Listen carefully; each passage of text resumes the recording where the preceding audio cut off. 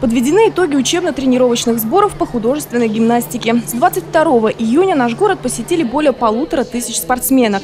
В последней, шестой смене, 280 гимнасток. Все они в течение 10 дней оттачивали свои навыки и осваивали новые элементы.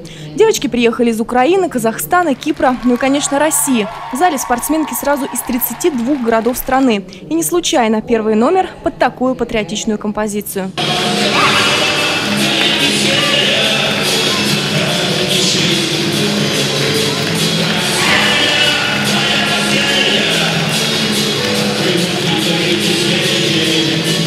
Была здесь 10 дней.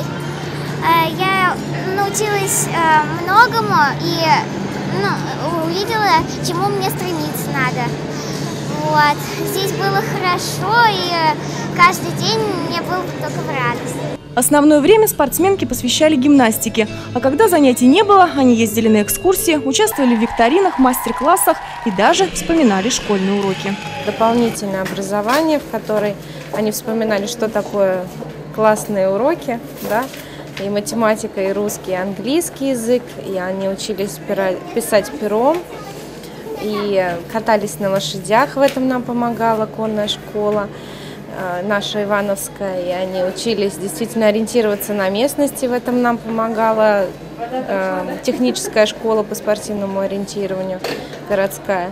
Вот. Так что у нас ну, как бы был очень насыщенный график. Катя со своей группой приехала из Донецка. Они здесь уже несколько смен и возвращаться назад не торопятся. После Иванова поедут дальше по своим спортивным делам и только потом на Украину. К счастью, выехали дети из воюющей страны без происшествий. Все нормально. Ну, конечно, там война была, но все нормально. Я тут уже занимаюсь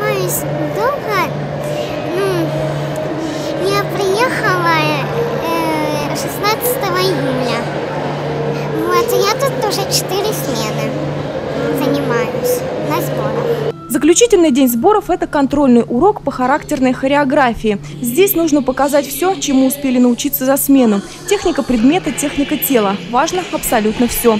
Следующий этап для юных гимнасток – турнир в Польше. Ведь девочкам, которые демонстрировали свое мастерство на Ивановской площадке, очень скоро предстоит защищать честь страны. Елена Белова, Андрей Семиволков, РТВ Иванова.